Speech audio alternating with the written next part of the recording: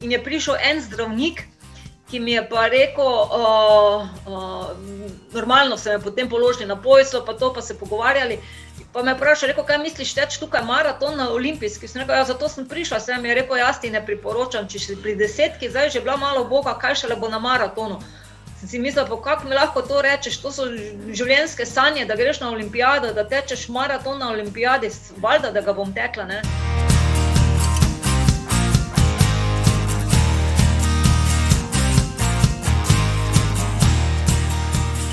Hej, hej, živijo, živijo, to je 23. epizoda podcasta za gre za tek, ta teden je edina, res je obsežna, res je zanimiva. Naj se na tem mestu upravičim za nekoliko slabšo tehnično kvaliteto uh, tega le uro in pol dolgega pogovora, ampak nič ne del vsebine je tako zanimiva, da vas to, verjamem, ne bo motilo, posebej tiste, ne, ki ta podcast poslušate. Hvala vsem, ki ste se že naročili ali pa še boste. Uh, ali naj si bo na YouTubu, na iTunes, na Spotify, na Google Podcasts, dobrodošli, delite, seveda, лаjkajte uh, vsebine, uh, napišite kakšen komentar, napišite kakšne ideje, vse je dobrodošlo. Hvala tudi vsem za donacije, ta teden še posebna hvala Jožetu in Ervinu, hvala carjasta. Upam, da boste uživali v pogovoru z mano danes, je res uh, neverjetna tekačica verjamem, da boste motivirani in zagreti za tek. Tako da, uh, gremo, akcija. Draga Helena, dobrodošla v podkastu. Hvala za hiter odziv in tvoj čas. Ja, hvala za povabilo, sem zelo vesela. Veš, da bil je že čas, no sem rekel, ampak moram malo čas dozoreti, da se jaz tudi malo navadim navadim uh, uh, tole opočenjati, no, da, imel, uh, tak, da ne bom imel prevelike zadrege. Uh, drago poslušalstvo, spoštovani in cenjene. Uh, tam zunaj, to je 23. epizoda vašega omiljenega podcasta in danes vam čast gostiti najboljšo slovensko dolgo progašico vseh časov. Ne zamerite mi, če se mi bo kdaj, uh, mogoče malo uh, jezik zapletel, imam še ogromno respekta, seveda, pred legendarno Heleno Javornik. Helena, dobrodošla, pozdrav z Gorenske. Kakšno je vreme na Štajerskem?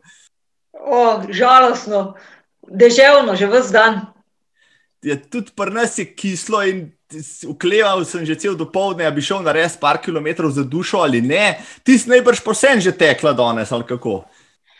A, sem šla jaz do povdana ob desetih, ampak ne, ne vem, kako dosti, deset km, malo v dežju.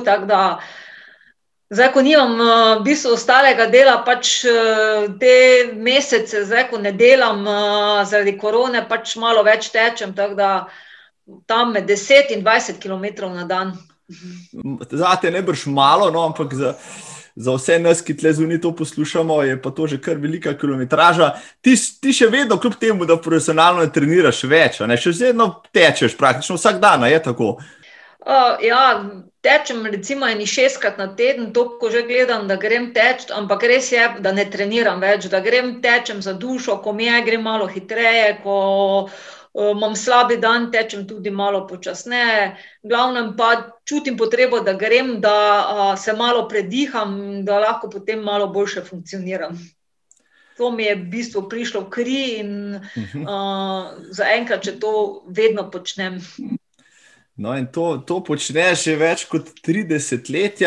Tako da na tem mestu, uh, spoštovana Helena, dragi poslušalci in dragi gledalke, uh, da predstavim današnjo gostjo s primernim besedami. Najuspešnejša slovenska tekačica na dolge proge vseh časov, trikratna olimpika, 40-kratna državna prvakinja, lastnica če sem prav našel podatek, 53 državnih rekordov v karieri na razdaljah od 1500 metrov do maratona, za reprezentanco nastopala 54 krat.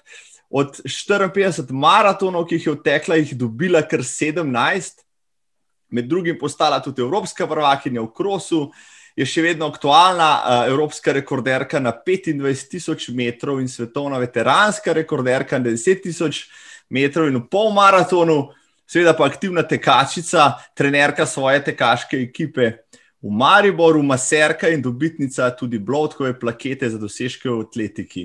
Zdaj pa, sigurno sem pozabil še cel kup stvari, prosim, Helena, dopolni me, kaj še manjka. Mislim, da si povedal kar vse, kar, eh, kar je za povedati, tako da mislim, da nisi nič pomembnega izpustil.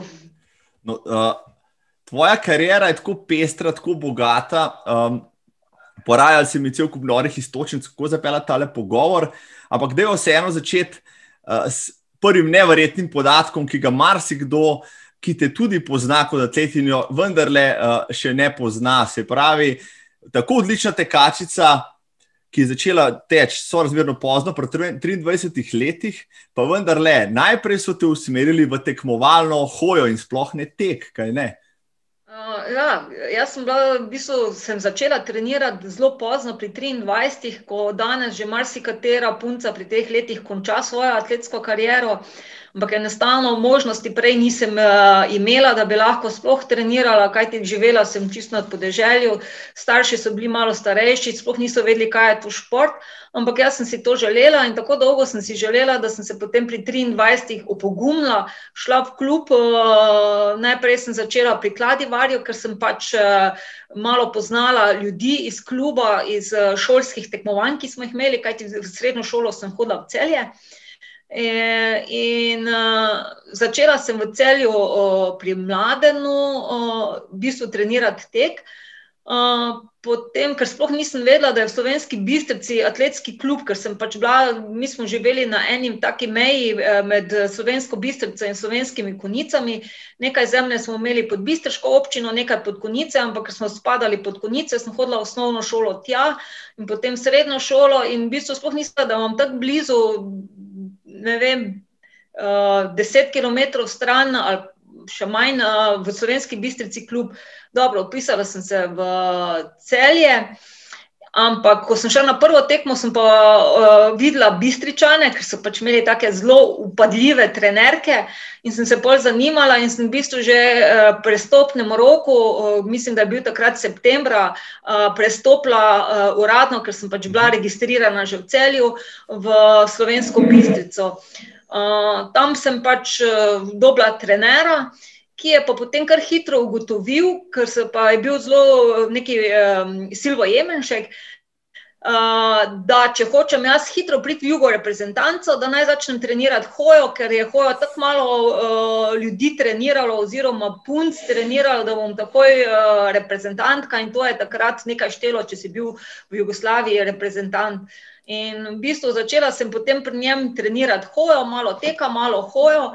In uh, leta 1991, ko je pa bilo uh, uh, državno prvenstvo, je pa v bistvu hoja, ki je takrat bilo predstavljeno, za divojne, takrat poleti sploh ni bilo, je bilo predstavljeno na jesen in enostavno v Sloveniji je bilo tako malo uh, prijavljenih, dobenega interesa, hoja odpadla in sem takrat štartala 10 uh, tisoč metrov. Mojo prvo uradno desetko na stezi, in sem tekla, mislim, da 40. 40 minut, pa 10 sekund, in sem bila mhm. četrta. Uh, potem uh, sem pač v bistvu uh, s trenerom tam, malo sem trenirala hojo, malo teka.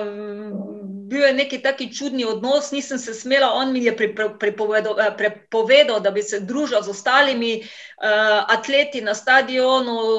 Mogla sem priti na trening in domov, ko sem šla na tekmo. Uh, um, recimo, ker si rabo neke tekme, mi je rekel, eh, kaj greš na to tekmo, se ne boš dobro, ker pridejo iz Lorenca na pohodijo neke punce, pa te bojo vse premagale. Pa sem začela malo študirati, da gledaj, če si ti moj tak trener, da mi boš prepovedal na tekme hoditi, na mesto, da bi me motiviral, kako naj jaz one premagam, takega trenera ne rabim več in sem rekla, jaz ne bom več pri tebi, pri tebi trenirala.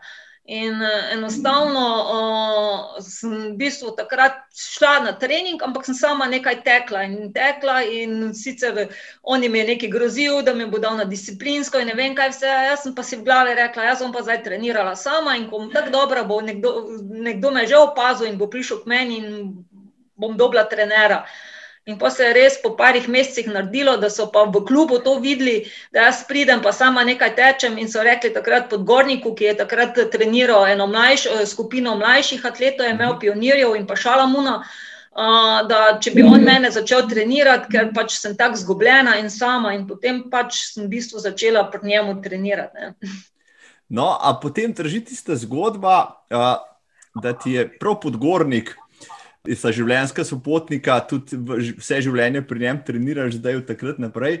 Da ti podgornik takrat, ko, ko je šel šalamu v Italijo na maraton, dejal, da je šlo zraven, če boš tole odlaufal, tako se zagrebo, pa razmislil, da te damo v te kaške vode. In takrat ti greš ta odlaufat maraton uh, in gladko takoj postaviš državni rekord. Ja, moram reči, da je res bilo tako. Jaz sem pri Borotu takrat tudi, on se je zelo uh, izobraževal in še vedno treniral hojo, ne? malo hojo, malo teka. Mhm. Vem, da je on živel v Rogaški in so bili na pripravah neki finci in se je on ful povezal, neki hodači, povezal z njimi, ful študiral neko literaturo, kako bi jaz dobra bila v, te, v hoji. Tako da sem še jaz vedno, moj uh, program je bil uh, v bistvu malo hoja, malo teka. Ne? Še vedno nisem samo uh, tekla ali pa samo hodila. In uh, čeprav uh, hodači vemo, da tudi tečejo zraven za ogrevanje. Uh -huh, uh -huh. In, um, takrat se pravi, bila, sem tekla prvič uh, na stezi 10 uh, km, potem je pa bilo še 14 dni po tistem uh, na Štatenbergu, to je uh, klub, v katerem sem bila slovenski bistrici, so organizirali državno prvenstvo v pol maratona in uh, jaz sem takrat štartala prvič pol maratona in sem tekla 1.19.30 pol maratona. Ne? In se reče, uh, ne, 21, 30, se reče, oh, to je pa super, pa vprašanje, če je bila dovolj dolga proga, super, prvič v življenju 21. In eh, res, eh, podgornik pa Šalamun sta se pripravljala takrat za maraton, ker je Igor pač imel namen v Čezano Boskone v Italiji uh, teč maraton. Uh, In to je bilo tri tedne za tistim polmaratonom, in je pač eh, podgornik mi takrat rekel: je rekel, Glej, mi dva sama gremo, plac, imamo avto, če hočeš, lahko greš zraven, pač probaš, koliko boš odtekla, boš odtekla. In res, eh, jaz pred tistim maratonom, najdaljši tek, ki sem ga naredila v enem kosu, je bilo 25 km. In potem, ko sem prišla tja na maraton, se točno spomnim, on mi je rekel nekaj prolaze, koliko lahko grem, če imaš 40 minut, 10 eh, km aha, osebnega, aha. lahko greš ti maksimalno 42, 43, prvo desetko. Jaz zaštartam tam z neki skupino italijanskih eh, tekačev. Spomnim se, en taki črni z belimi rokavicami je tekel, gledam na uro, pridem na 10 km, 38 pa pol, ne, 38 minut in pol. Jaz se kuj vstavim, rečem, moram iti bolj počasi, bolj počasi. Kaj mi bo Borod rekel, ko me bo videl na progi, nekaj se je teklo, pa smo se na enem delu proge srečali, ko me bo srečal, kaj mi bo rekel, da sem tako hitra. Sploh nisem poštudirala, da on sploh ni študiral, kako hitro jaz tečem, ne? ker sem šla kar tako zraven. Ne? Potem je pa, ker on je pa bil s kolesom, je spremljal šala Muna, uh, ker je kao on bil med favoriti in da bo dobro tekel. Potem pa šala Mun nekje na enem že pred 30 km odstopi. In takrat podgornik ni vedel, kaj in je rekel: Šalomuno, jaz moram cilj pridaj mi bicikl, grem jaz, eh, ne bom zdaj peš hodil, da grem jaz, da pridem do cilja s kolesom. Je rekel: Ok, jaz bom pa šel, pa je prišel k meni nasproti in potem z mano tekel. In potem je pa začel na uro gledati in študirati, joj, kaki cajt bo, kaki cajt bo. In je v bistvu, ki je pač tako ob strani tekel, pa včasih malo ki je sekal, pa zopet zraven prišel in na koncu videl, da bo zelo dober čas. In res tisti prvi maraton do bed ni pričakoval, tudi jaz ne, sem odtekla 2,49-30. To je bil prvi moj maraton, ki sem ga tekla. Uh, še toliko bolj uh, se mi je zdelo dobro, zato ker sem najdaljši tek prej naredila 25 km. Mm, noro noro. Zdaj, uh, že, se pravi, če to ni bil dokaz, da, da imaš neke posebne rekel, gene, pa talent za dolgi tek, pa ne vem kdaj. Ne? Bi se to pokazal, uh, ampak vseeno, le zdala cel kup istočin in te moram vprašati, začela si, kazala si talent že v mladosti za šport, ampak rekla si, ni bilo možnosti. No, potem si začela pri 23 dokaj pozno za današnje čase, ampak vsem si živ dokaz, recimo, da pravzaprav ni nikoli prepozno za neko pravo športno kariero. No, vse imamo cel kup tudi slovenskih športnikov, ki so ali presedlali, kasneje začeli, pa so uspešni. Ti prav gotovo sodiš v vrh teh primerov. Kako misliš, da danes še vseeno, če bi se nekdo odločil pred 20, pa odkril, da ima nek talent ne, za, za tek? Kakšen je sistem, kako bi ga sistem sprejel? Ti si že takrat imela težave, da bi te nekako, pa so ti govorili, prestara si ne bo šlo. Uh, uh, kako pa je danes sistem funkcionira? Ne brž glede na to, da delaš še vedno atletiki na način, po teku funkcionira. Če bi nekdo prišel in rekel, pri 25, recimo, ajde, naredite iz mene, ne vem, tekača. Ja, tukaj je dosti, dosti dejavnikov. To je bilo zdaj 32 let nazaj. Moramo vedeti, da danes svet funkcionira čisto drugače, kot je uh, 50 leti. Ne? In enostavno, jaz sem že kot otrok hotela biti, kako bi rekla, malo posebna iz, v tistem krogu. Vela, Uh, jaz nisem bila zadovoljna, da sem bila tako, so bili vsi sosedovi otroci, pa to vedno sem hotela malo izstopati. Uh, vem, da sem si zelo želela, da, bi, uh, kako bi rekla, uh, da bi to pokazala, ampak druge možnosti kot teka ni bilo. Ne. Starši sploh niso vedeli, kaj vedeli, v kakem klubu, nič, nič niso imeli zvezi s tem uh, pojma. Uh, ampak tek je bila pač tista disciplina disciplina, ničesar ne, lahko tudi v začetku boš tečeš. Uh, in to je bila pač, zdaj študiram, tudi če bi se takrat lotila kakega drugega športa, bi verjetno uh, tudi v tistem uspela, ker konec koncev, če si nekaj zelo močno želiš in uh, se takoj in vztrajaš pri teh željah in željah in potem se temu posvetiš, sigurno si lahko uspešen. Mm, dobro. Nekaj je talent, eh, nekaj so geni, ki so ti dani. Jaz sem imela srečo tudi, da nisem bila nič poškodovana, to je neki zelo, zelo velik puls. Uh, se danes vidi, da dosti, dosti uh, otrok se že poškoduje, ko ne gre več potem naprej, da bi sploh prišli do neke take točke, kjer bi lahko ustvarjali neko kariero, recimo, da pridejo, končajo dosti prej, ko se začne sploh članska kategorija čisto odvisno, ne? Uh, kaj ima zdaj eni, jaz skozi dala, da pač me ni nišče uh, po rokah nosil, pa rekel, učitelji so videli, ti si talent, ti bi lahko zelo dobro tekla, zelo dobro tekla, ni pa. Nišče je rekel, nekaj ti bomo dali. Starši niso imeli niti denarja, da bi mi copate kupili. Jaz, ko sem šla na šolski kros, sem si od sosedove, prijateljice, od sosedove, da sem šla, ker mi je bilo nerodno teči v nekih čevljih ali pa raztrganih copatih. Ampak potem, ko sem šla v službo, sem pač že imela svoj denar in sem za sebe vlagati. Ne? In ko začneš ti, ne vem, dobiš plačo, pa si vložiš notri, da si kupiš opremo, copate, da greš na neke priprave začneš tudi vložiti in zdaj bom vztrajal. Ni lahko vedno vztrajati, ampak če imaš to, to zavedanje, da pa če nekaj vložiš, moraš nekaj od tega imeti.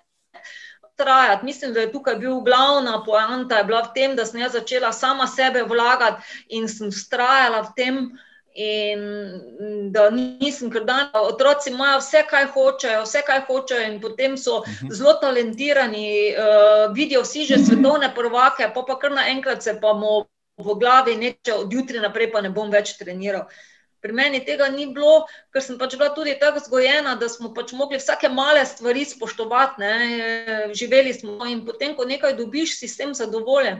Recimo, jaz ni bilo variante, da jaz ne bi šla enkrat na trening, ker sem mislila, če se nekdo potrudi za mene, da mi napiše trening, pa se sepi neki čas, ni šans, da bom pa zdaj jaz, eh, jaz moram to narediti, jaz moram boljše to narediti, ko je tam piše, ne, da bom se s tem nekako zahvalila in uh, nekaj vrnila za to. Ne. Uh, danes so malo drugačni časi in je težko otroku reči, da pa, uh, je dolžen za to, da nekdo nekaj čas v njega je dolžen za to tudi vztrajati in mu na drug, na, na drug način nekaj to vračati. Ne? No, to si to sigurno res. Um, kljub vsemu, danes imajo ti otroci uh, rekel, vse možnosti na način, ne, da bi se ukvarjali športi. Uh, pa, se, pa se v bistvu ne, takrat je bilo ravno obratno. Ti si začela v 80-ih, jaz se spomnim, jaz sem začela rekreativno teči v 90-ih, pa so me čuden gledali, ko sem laufal, pa sem tudi z vasi doma, izpod hribov in tako naprej. Ne, pa so mi zmer rekli, da nimaš božjega dela, se zaprijeta. Ne. Ti si večkrat podarila tudi, da si tudi zrasla gor uh, v bistvu uh, na vasi in da tudi ni bilo lahko, še, še za žensko, pa še toliko bolj, konec 80-ih, v začetku 90-ih, teč tam, še, so te še bolj čudno po, po strani gledali. Najbrž tudi ni bilo zmeri lahko, kljub temu, da si vedela, kaj hočeš, zdaj te je to še dodatno spodbudilo, da si ustrajala na tej poti, a si imela tudi, bom rekel, kdaj s tem uh, rekel, težave, da so bile to dodatne uvire, ki so te moče kdaj tudi uh, mal dale nazaj. No. Ne vem, jaz, ko sem se odločila, da bom začela trenirati, sem šla v klub. Takrat je še moja mama živela in uh, tudi včasih, recimo, jaz sem hodila v službo takrat, ne sem šla zjutraj ob šestih do dveh, sem delala, to pomeni, šla na avtobus in sem prišla ob treh domov. Sem včasih prišla utrujena in sem šla uh, malo legniti, da bom malo zaspala, pa pride mama čez dve uri pa na vrata pa pravi, Helena, kaj danes pa ne misliš iti teč? pa začnem boliti, potem pa, pa rečem, pa, ko se pa zbudim, pa rečem, če moja nikoli ni bila športnica, vedela ni, kaj je to šport, nič. Je ona je vedela, če sem se jaz odločila za neko stvar, jaz to moram eh, speljati. In se vstanem, grečem. In potem, ko sem se odselila, ko sem živela sama, eh, žal je mama zelo hitro mi potem umrla. Takrat, kadar mi je bilo težko, sem se vedno spomnila teh besed, da če se za nekaj odločila, to moram narediti. In ni bilo vremena, ni bilo časa, da jaz ne bi šla. Včasih sem že zjutraj ob štirih pred službo šla, pa sem tekla, recimo pol petih, že prvi trening naredila, ker od začetka sem še prva leta hodila v službo in sem še dvakrat na dan trenirala. To so bile take stvari, ki ti potem celo življenje, kako mi je bilo težko, sem se na to spomnila. In uh, mi je res to pomagalo, še danes ne, vidim, da res nisem živela v izobilju, nisem imela če, ne, kot otrok, smo bili nikoli dobenega dopusta, dobenega morja, nismo videli dobene tujine, dobenih izletov, ničesar. Uh, ampak starši so pa dali tiste osnovne, osnovne stvari, da znaš nekaj, da se potrudiš, da narediš, da vztrajaš. Eh, eh, neke take stvari, eh, splošno življenjske, ki so pa tudi pri športu potem pomembne. Ne? To so nam pa dali, to sem imela in ni bilo lahko. Jaz sem začetka, ko, uh, rekla, ko sem začela teči, pa se še ni od meni toliko govorilo. Ne? Sem tekla dosti po gozdu, po travnikih, kjer je bilo zelo malo ljudi, ker sem zelo malo ljudi srečala. Ker če sem šla po cesti, so za menoj kričali, naj grem vem, na nivo delati, kaj se zdaj tukaj nekaj ven mečem in ne vem, kaj vse. Ok, Helena, glede na vse povedano, še ena, še ena nekaj si izpostavila, kar te moram bolj povprašati. Kakšna pa je vloga, recimo, vloga pravega trenerja v razvoju tekaškega potencijala ali pa tekaške kariere, recimo tekačice kot si ti. Mar si kdo, tudi vrhunski tekači danes, se gnajde se kakšen, ki bi sam treniral ali pa so trenira sam, ampak. Sam brško ne težko sebe oceniš od zunaj, pa objektivno. Ne imaš zmeraj neke druge, rekel, subjektivne uh, probleme s tem, s to oceno, pa s planiranjem treningov, pa z nadzorom, in tako naprej. Ne? Kakšno je tvoje mnenje v tej smeri? Ja, sem, moje mnenje je, da enostavno vrhunski uh, športnik rabi trenera. Ker ni samo to planiranje treningov, da si ti nekaj splaniraš, potem je tudi nekdo, da te spremlja, da vidi, kako ti to izvajaš. Tudi če gre za te, ki je čisto preprosta stvar, so določene stvari. Uh, uh, ki je fajn, da ti nekdo pove, kaj na robe delaš, kje se lahko še bolj potrudiš. Uh, sploh na začetku neke poti je to zelo pomembno. Uh, konec koncev tudi motivacija. Ne? Ti si sam napišeš trening in sam treniraš, si sam. Jaz sem imela to srečo, da ko smo z Borotom začela delati, da smo v bistvu, je on bil skozi zraven na vseh treningih, na vseh pripravah, ko sem delala dolge teke, me spremljam s kolesom. Enostavno vidi in te tudi že od začetka zraven popravlja, kaj ti na robe delaš. Ne? Ker tek je pač taka monotona, uh, monociklična stvar, ki ti pride v kri mhm. in če ti nekaj na robe delaš, boš enostavno pol skozi na robe delo, ne? da te že skozi od začetka popravlja zraven. Uh, tudi za motivacijo. Uh, jaz mislim, da uh, vrhunski športnik rabi trenera, konec koncev tudi, da ti uredi neke ali tekme, da se z drugimi pogaja, z druge stvari, da se ti lahko posvetiš res izključno samo uh, tisti disciplini, ki jo treniraš, v bistvu teku in se temu posvetiš. Uh, no, ampak se, dober odgovor se mi zdi, no upam, da uh, ram, poskušajo tudi tisti, ki razmišljajo v tej smeri, ne, da je izbira trenerja, čeprav danes se zdi, da je um, zvestoba enemu trenerju bolj redkost kot, kot, kot pravilo, ampak vseeno, včasih, včasih uh, glede, pogledati nazaj. Tiste atlete, ki so uspevali, pa s katerimi trenerji so delali, da ponavadi uh, bistveno več odgovorov na temo, da je neka sinergija med enim in drugim, včasih lahko tudi bistvena, pa ključna. Pri tebi je bil namreč napredek zelo, zelo silovit. 91, kot si rekla, si se poskusila v prvem maratonu, čez dve leti si že v prvem maratonu zmagala na sredozemskih igrah, še dve leti kasneje že na prestižnem Dunaju, potem so le tukaj že olimpijske igre. V Atlanti, zelo hitro si noter prenesla tisti, mora biti manjko treninga v mladosti, mar ne. Uh, ja, sem pravim, ker sem pač res si nekaj zelo dolgo želela. Jaz sem si kot otrok želela, da bi nekaj takega počela. In enostavno, če si nekaj zelo močno želiš, in kot, takrat, ko ti se to ponudi, moraš to izkoristiti. Ne? Je pa res, da sem jaz se v bistvu posvetila samo atletiki, v bistvu sem se marsičemu drugemu odpovedala. Imela sem malo sreče, tudi v službi so mi takrat šli na roko, potem sem se odločila, da sem potem službo v bistvu dala na stran, da sem samo se z atletiko ukvarjala, ampak vseeno sem imela službo na čakanju in firma, kjer sem bila zaposlena, to je bil takrat Zreški komet, me je tudi sponzorirala. Uh, v bistvu potem sem čez leto pa pol uh, dobila službo kot športnica v slovenski vojski. Enostavno sem imela podpor, vse čas sem imela neki podpor, da sem se lahko res stopodcentno uh, posvetila treningu in temu izvajala. Uh, mogoče sem, vse sem rekla, bila zgojena malo drugače, kot so današnji uh, uh, otroci. Eh, da, uh, in tudi ni bilo možnosti, takrat ni bilo interneta, ne? takrat si mogel imeti trenera in da ti je napisal neki plan, kje boš ti iskal informacije. Kaj pa danes? Danes je internet, eh, danes uh, vsi iščejo neke informacije, kako oni trenirajo, tisti, vsi treningi se devajo v javnost. In mislim, da je danes problem teh vrhunskih, ne morem reči, vrhunskih, dobrih naših športnikov, ki bi radi sami trenirali, iščejo preveč informacij in potem se jim te poplavi teh informacij, kako trenira, da bodo dobri, izgubijo notri.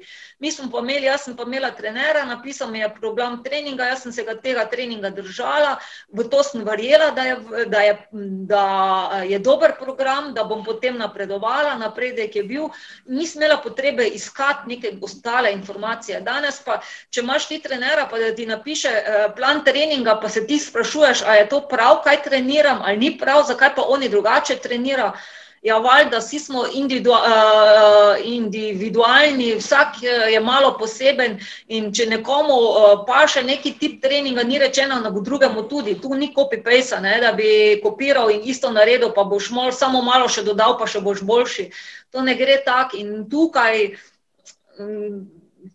ta, ta uh, poplava, ta digitalizacija, organizacija, eh, dostopnost do vseh teh informacij, mislim, da tudi malo dela, pa ne samo na športnem področju, na vseh športnih področjih malo bega ljudi. Ne. Mislijo, da vse tisto, kar preberejo, da res, kdo pa reče, da je tisto res, kaj je nekdo objavil, ko je treniral. Uh -huh, uh -huh, tako, tako, bravo. Se pravi, tudi, uh, tudi na področju športnih treningov, pa strajemo vsega tega, imamo lahko fake news ali pa kako že hočemo temu reči. Ja, se imaš prav, marsikaj je danes možno za voljo kakšnih lajkov, če smo že pri tem. Ampak prej sem že omenil, uh, da si bila uh, od 90-ih, že svojih prvih olimpijadi, pri 30-ih si šla v Atlanto na olimpijski maraton, tista preizkušnja. Jaz se spomnim, jaz sem gledal to, takrat sem že navdušen gledalec atletike. Ti si bil kar zaguljen maraton. Ne? Se spomnim, pri nas je bilo že popoldne ura, prva se je bilo zjutraj, mislim, da je bil štart, ampak je bilo že kar precej vroče in kot te vem, takrat si prišla v cilj, uh, si šla še en krok od laufa, tako da že dosti ni bilo tistega matranja. Da mi malo pišu so tisto izkušnjo iz tvojih prvih olimpijskih. Ja, jaz sem v bistvu zelo hitro prišla na olimpijske igre. Prve, ko sem se lotila norme, sem jo dosegla. Uh, in uh, v bistvu sem se jaz za uh, olimpijado pripravljala za Atlanti. Že tri mesece prej smo šli s podgornikom uh, v Ameriko, da sem se tam pripravljala, bila sem na višinskih pripravah ali v Krkiju. In potem tudi mislim, da je bilo en, en mesec pred uh, olimpijskim maratonom, je, uh, vem, da je bil uh, uh, v Atlanti, je Pitch 3 uh, Red Rose, uh, uh, Road Race, uh, to je um, 10 km. In ta del uh, je tekel po maratonski progi, zato sem se tudi mi dva takrat, uh, to je Boruc organiziral, da smo šla tja in smo tekla tisto uh, desetko. Že takrat so bili uh, pogoji, zelo visoka vlaga je bila, proga je bila zelo težka, to so rekli rolling, samo gor, dol, ravnega praktično ni bilo. In jaz tisto desetko tečem, vem, da sem tekla, mislim, da sem tekla okrog 35 minut. Uh, ko sem prišla cilj, mi je tako malo slabo postalo, sem se mogla za ograjo pri, prijeti in sem se malo tako zibala sem pa tja in takoj priletijo zdravniki. In je prišel en zdravnik, ki mi je pa rekel, uh, uh, normalno se je potem položili na pojso, pa to pa se pogovarjali. Pa me je vprašal, rekel, kaj misliš, teč tukaj maraton na olimpijski? Sem rekel, ja, zato sem prišla, sem je rekel, jaz ti ne priporočam, če si pri desetki, zdaj že bila malo boga, kaj šele bo na maratonu. Sem si mislila, kako mi lahko to rečeš, to so življenjske sanje, da greš na olimpijado, da tečeš maraton na olimpijadi, valjda, da ga bom tekla. Ne? In normalno, ja, štart je bil, čeprav sem bila tri mesece tam dobro, bila sem na Albuquerqueju, ker je bilo res visoke temperature, tam je bila nizka vlaga na višini, tu je pa bila še vlaga tisti problem. Štart je bil zjutraj ob sedmih, Vem, da sem se, mislim, da ob dveh ali ob treh smo že iz olimpijske vasi počasi šli tja, deževalo je in vse. In potem na štartu, ko se je zdanilo, je prenehalo deževati, posijalo sonce in je bila vlaga še večja kot drugače. In vlaga jaz nisem prenašala. Uh, odtekla sem tisti maraton, točno sem vedela, koliko moram, da ko pridem na stadion, en krok in cilj, ampak jaz sem še kar tekla, še kar en krok, sploh ne vem. In potem sem prišla cilj me tam čakal naš doktor Milič, pa pravi, oj, Helena, taka si cela plava, treba je iti na infuzijo. In šel tja nekaj, dobene mize, vse te kačice so že bile na infuzijah, dobene mize ni bilo frajnic. Sem rekla, eh, se jim nič nisem, dol se sedem malo, pa bo mimo. Ne? In potem je pa kar naenkrat začelo trest, dihati nisem mogla in trenutku se je najdla miza ne? in takoj so me dali na mizo in merili temperaturo, normalno sem bila ful pregreta in potem so me uh, uh, ti Amerikanci dali v neke uh, obložje z nekimi ledenimi vrečami, da so me malo ohladili in so me to prehitro podhladili, sem se začela cela pajtlat. Pikali so me po rokah, vprašam doktor Milič, kaj me te toliko pikajo. Je rekel, ja, dobene žile ti ne najdejo. Ne? In potem so res najdli žile, da so mi v obeh rokah hkrati dali infuzijo in ne vem, koliko mi je preteklo. Uh, Uh, glavnem, totalno sem dehidrirala na tisti uh, tekmi takrat. Um, Borod je bil tam, ampak ni bil uradno v reprezentanci in on uh, mene je videl na cesti tam na zadnjem bolj sploh ni vedel, kaj se je dogajalo z mano. Šele popoldan, štart je bil zjutraj ob sedmih, jaz sem še mislim, da popoldan ob petih uh, prišla v olimpijsko vas, um, potem kar hitro po tistem šla domov, tako da je bila ena taka res huda izkušnja, no? ampak um, to mene ni, kako bi rekla, da bi rekla, zdaj pa ne, ne bom več tekla maratona, pa nič. Bila sem malo razočarana, ker nisem tekla časa takega, ki sem si zastavila, sem tekla kar precej slabše od osebnega rekorda. Uh, in potem smo ugotovili, kaj narediti, in smo rekli, ok.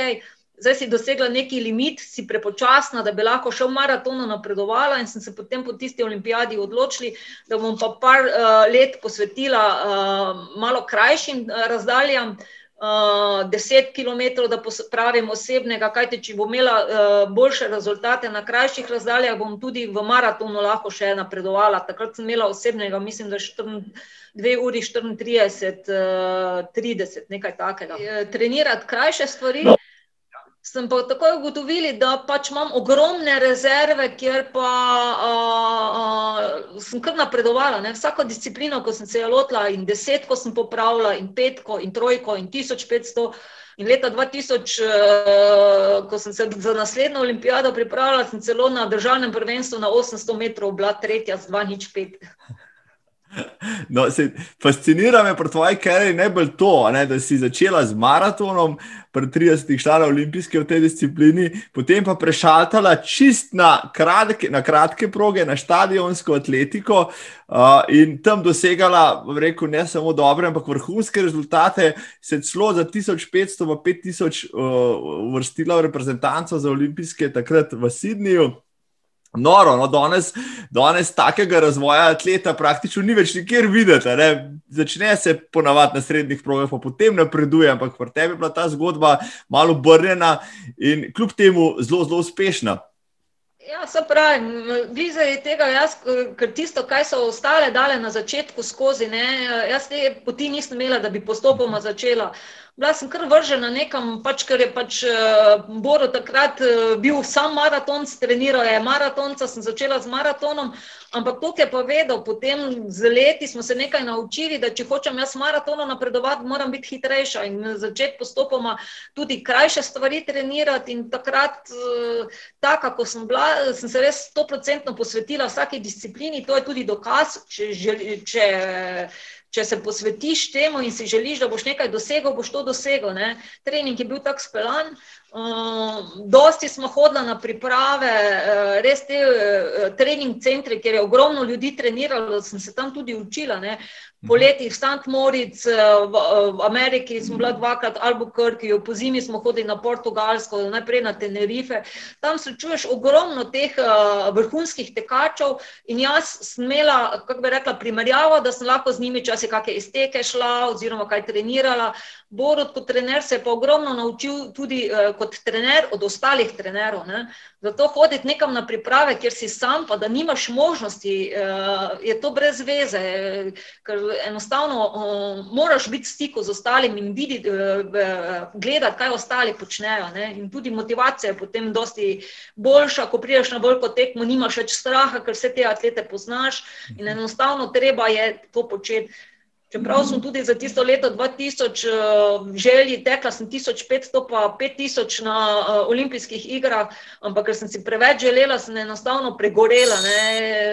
Naredili smo eno veliko napako, prej sem bila, prehitro sem bila v formi, uh, potem pa sem direktno iz višinskih priprav menjala še uh, časovne pase, ker smo šli v Avstralijo. In enostavno, ko sem prišla v Avstralijo, že tri tedne prej, sem videla, da mi forma samo dol gre. In takrat, ko ti forma gre dol, ni šans, da karkoli narediš, da bi jo zopet lahko dvignil. Ne. Jaz sem že bil, ko smo bili tri tedne prej uh, na, z reprezentant, uh, mislim, z ekipo dol, sem že vedela, da je nekaj narobe. Ne. Ampak To je čist nekaj človeškega, človek se uči in na naslednji olimpijadi, potem čez štiri leta, smo vse to upoštevali, takrat se je pa vse skupaj zelo, zelo dobro obneslo. Ne?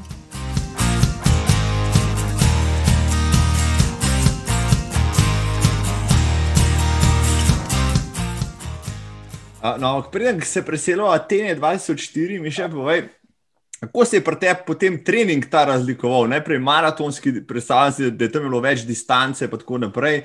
Tleh si pa potem prešaltala recimo na 1500, ne? Tleh najbrž je bila kilometraža, ki je manjša, bistveno več, vem, intervalov, krajših in tako naprej. Uh, oziroma, koliko se je količinsko vse skupaj razlikovalo? Ja, v bistvu o, takrat, od začetka sem jaz delala dosti, dosti kilometrov, To pomeni, da sem imela zelo dobro zdržljivost. Ne? V vseh tistih letih sem trenirala zdržljivost, in potem, ko smo spustili uh, uh, obseg uh, in šli na intenzivnost, uh, In glede na to, da po mojem tudi gensko nimam nekih, uh, nekih problemov, nisem imela v, bistvu v celi karieri dobene take uh, omembe vredne poškodbe, razen leta 2004-2005, en plantarni fascitis, da nisem bila nekako uh, skoraj nikoli poškodovana, že kakšna mišica malo zategne ali pa kaj takega, da bi pa imela neke poškodbe, da bi mogla zdraviti in ogromno časa spuščati, ni bilo. In enostavno se je pa videlo, da pa uh, uh, lahko tudi na krajših razdaljah uh, sem zelo uspešna. Borod se je poglobil, naredil trening, imel tudi, uh, rekla, tudi z drugimi trenerji, se malo posvetoval, uh, malo raziskoval to smer, in enostavno nam je šlo. Uh, Ampak se pravi, če si nekaj želiš in tisto počneš, če si taki tip človeka, boš vse naredil.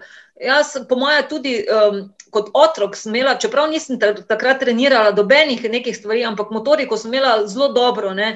Dosti smo pla, uh, plazili, skakali po drevesih, uh, hodili. Tako da že v osnovni šoli, recimo, sem bila zelo dobra v skoku daljino, v šprintu sem bila zelo dobra, sem uh, v šoli, na šolskih tekmovanjih in v korosu. V bistvu sem imela vse te stvari, sem imela. Ampak potem, ker tako dolgo nisem šla in pri 23 letih, ko sem začela, Prvič, ko sem šla na testiranje na preprogo, sploh na preprogi teč nisem znala. Ne? In tisti en pač trener, ki se pač že takrat čutil malo ogrožen od svoje atletinjo in so mi izmerili VO2 max in so mi zelo slabo izmerili. Zakaj? Zato, ker niti nisem znala teč, da bi svoj maksimum lahko dala takrat na preprogi, nisem znala, ker me je bilo strah, ker nisem še nikoli na preprogi tekla. Ne? Ampak sčasoma se potem človek navadi vseh stvari ne?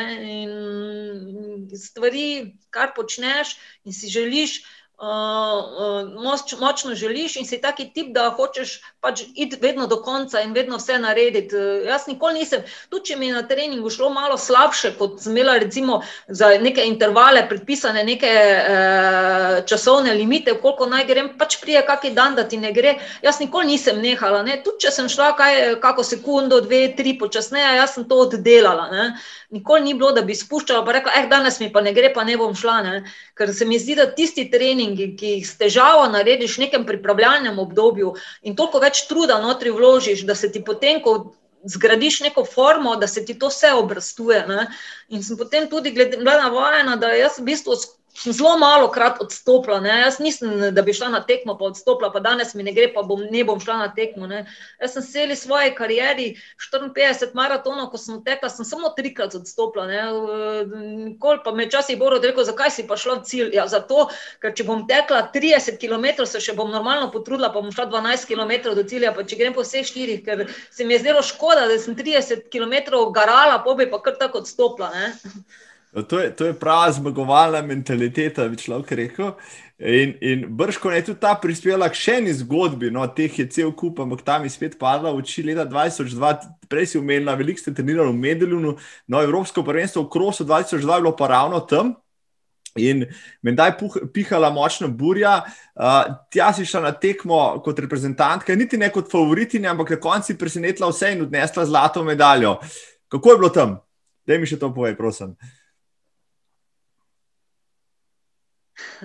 Ja, to je zelo, kako bi rekla, zelo neka posebna zgodba. Uh, jaz sem takrat vedela, da sem zelo dobra, kajti 14 dni pred tistim sem jaz tekla uh, maraton v Firencah, zmagala, tekla sem 2 uri 28, uh, osebni rekord, jaz sem vedela, da sem zelo dobro pripravljena. Uh, Medolin smo poznali leta in leta, smo hodili na zimske priprave, Medolin sem vse poznala. Uh, In točno se spomnim, en teden pred maratonom smo šli kot cela ekipa, uh, ta, uh, za kros, uh, ki smo na krosu potem nastopali, reprezentanca, smo imeli kao reprezentančne priprave. Šli, jaz en teden po maratonu nisem imela kaj trenirati, stvar sem se malo pod progi, ker smo vedeli, kje proga poteka, malo steč. Potem sem se pomalo hecala, pa sem zadnjih 150 metrov malo šprintala v cilj, sem rekla, gledaj, da malo natreniram, če bo ki potrebno čez en teden uh, finiširati. Ne? In še vem, da je bil pač trener Bojan Ogrinc, ki je bil tudi tam, pa je takrat Sonijo Romanovo treniral. No, tako se je stano obrnil, pa se je začel sme, smejati. Je rekel, kaj boš zdaj ti tukaj trenirala, finiš. In res je potem prišlo čez en teden, da sem glih v tistem no, v norem vremenu, v tistem finišu, ki je pol motion, ker je burja pihala direktno prsa zadnjih 100 metrov, ker smo pač od morja gor tekli po hribu gor in veter prsta in močno, da sem takrat premagala. Moram pa reči, da jaz sem taki tip, da če me nekdo nekaj razkuri, mene to tako podkuri, da in to je pa bila tista zgodba. Uh, En dan prej smo šli, kot Kežar, pa Kosmač, pa vsi ti reprezentanci smo, smo šli v, v Medulin na kavo in je bila zraven tudi uh, Sonja. In ko pridemo nazaj v Avli, Ogrinc pa pravi, Sonja, jaz ti prepovedujem, da se ti s Heleno družiš, zato ker ti ona moralo zbija. Ne? In ona, Sonja, pride k meni in to. Namesto da bi bil spoh vesel, da jo zraven vzamemo, pa da se malo, pa nismo se o tekmi nič pogovarjali, da se malo sprosti, že na tik pred tekmo, mislim, en čudiraš. Na mestu, da bi bil vesel, da smo jo zraven zeli, reče, da je prepoveduje se z mano družiti, se nekaj ti bom jaz že jutri pokazala, kaj je to. In enostavno to me je čutila, kot da bi imela ogen in sem bila prepričana, da se bomo jaz maščevala in bom jaz že dokazala. In v tistem sem bila, kako bi rekla, sploh nisem opazila ne vetra, ne vsega, meni je samo žgalo, da moram teči, teči, teči.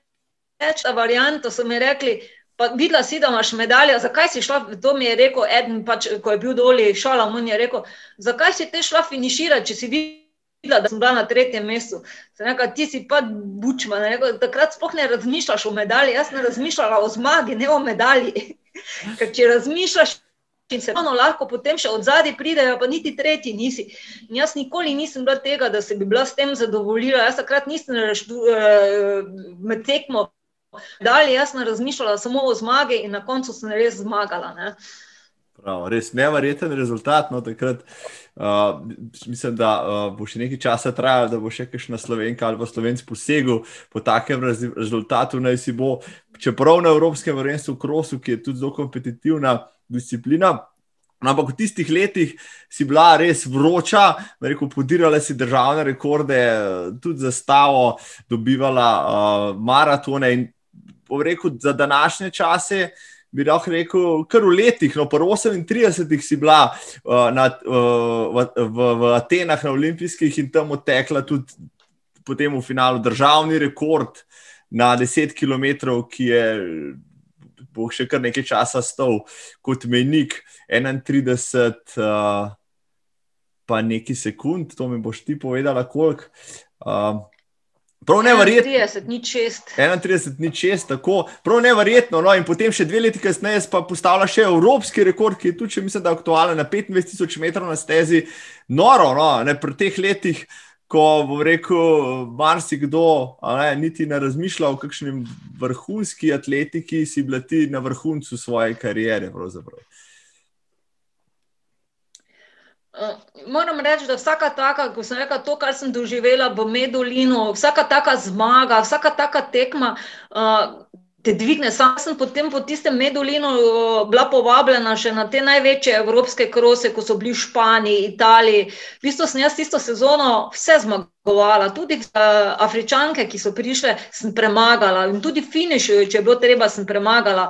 Uh, enostavno en taki rezultat ti potem dvigne tvojo samest in ti samo greš, ne, ne poznaš več, uh, da bi se nekje v zadnji šlepal, pa potem šel naprej, pa kak bo bo. Ne. Ti imaš tisto zmagovalno mentaliteto, vse varjeno in uh, razmišljaš samo o zmagi. Uh, Za Atene smo se pa tudi dosti dobro pripravljali, vedela sem, da sem dobro pripravljena, uh, tudi uh, vedela. Uh, sem, da moram držati eh, eno evropejko, prokopču, kako je, vedela sem, dobro sem pripravljena, grem na tekmo, bilo zelo pozno zvečer in sem rekla, aha, če me eh, ta prve ne bojo eh, prehitele za en krok, sem dobro na poti ne? in potečem, tečem.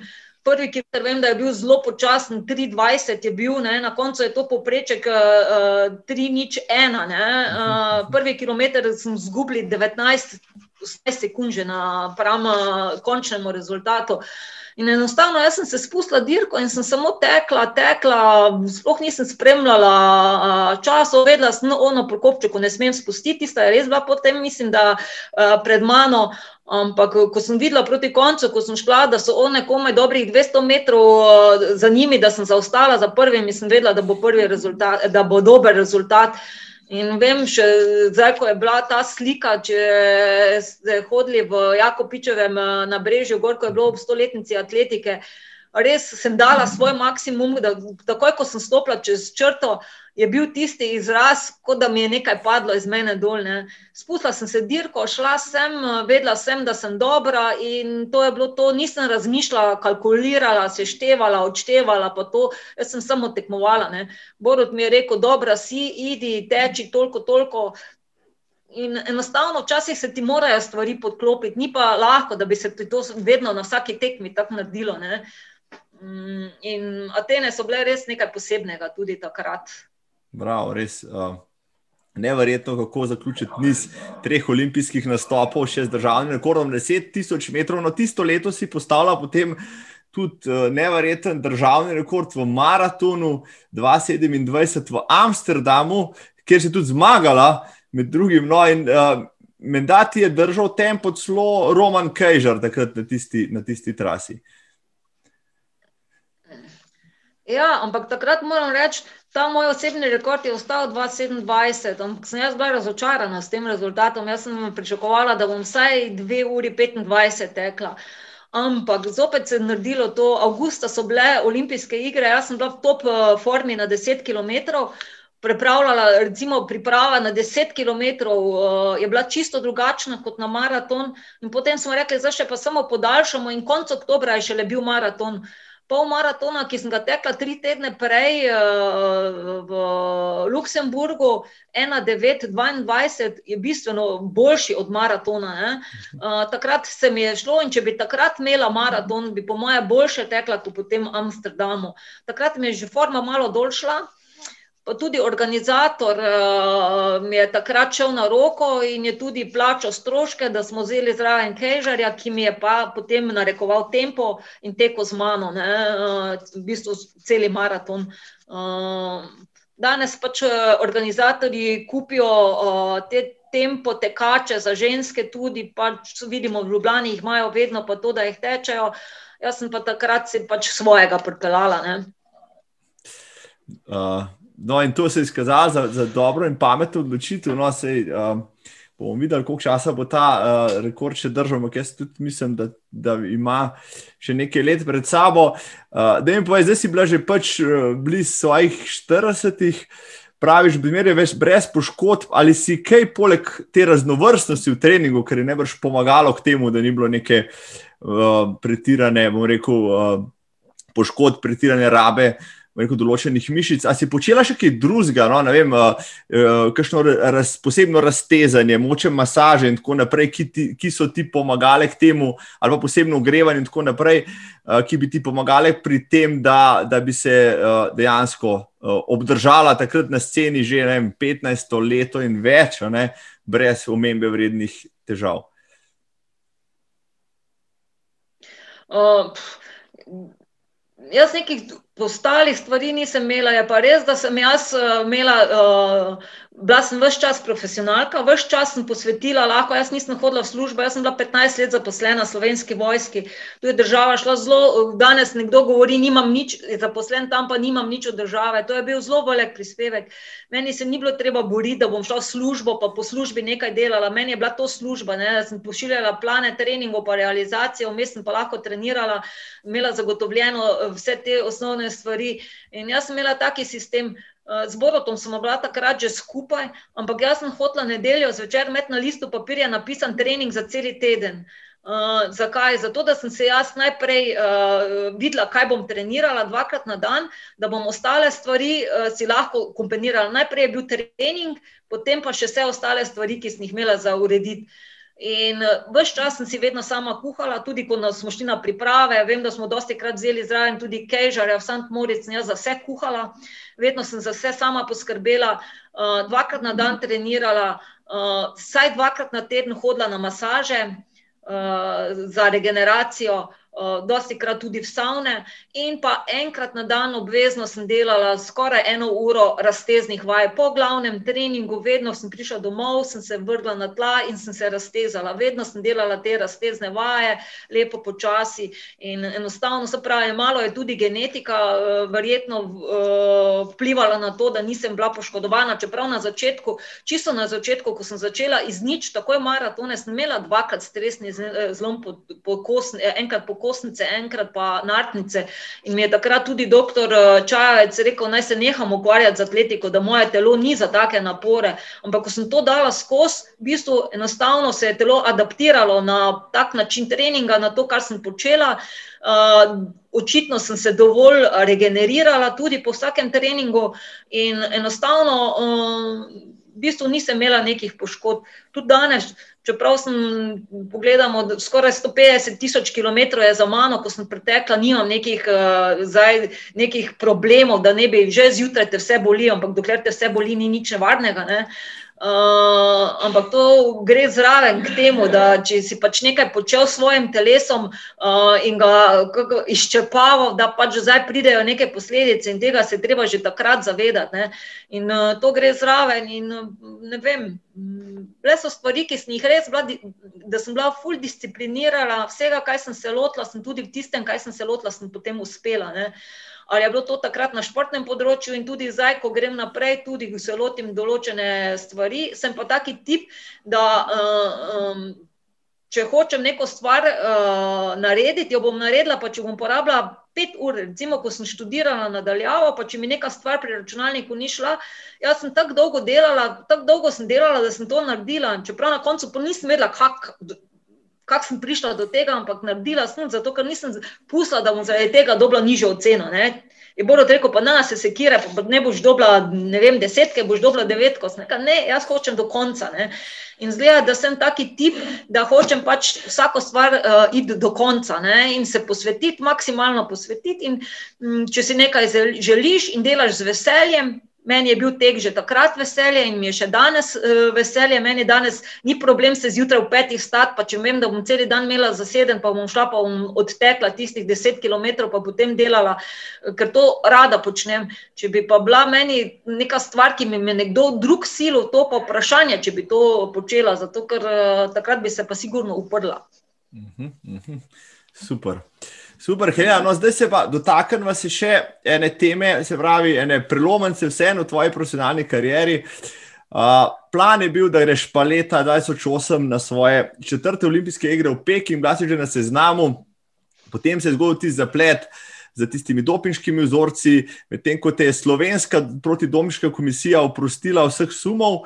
Pa mednarodno razsodišče za šport ni menilo tako, ti je prekrižalo načrte po dokaj dolgem tistem procesu, so ti potem dali dveletno prepoved in olimpijske igre v, v Pekingu so šle, so šle uh, v franže. Tako da tisto, tisto je po enem način tudi zaključilo tvojo resno profesionalno kariero.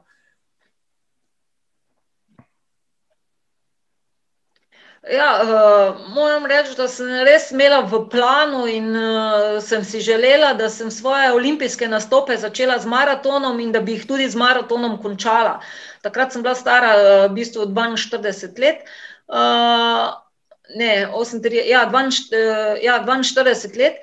Uh, imela sem izpolnjeno normo, tudi ki sem jo v Trevizu šla, 2029, pa še nekaj malega. Uh, Ampak uh, takrat je bila ena zadeva, da enostavno uh, ena avstrijska tekačica je poiskala, uh, ena Eva Marija Gradvol je takrat poiskala neki kontakt, poznali smo se na videz, ker sem jaz dosti uh, v Avstriji tekmovala in tudi tekmovala za en avstrijski klub.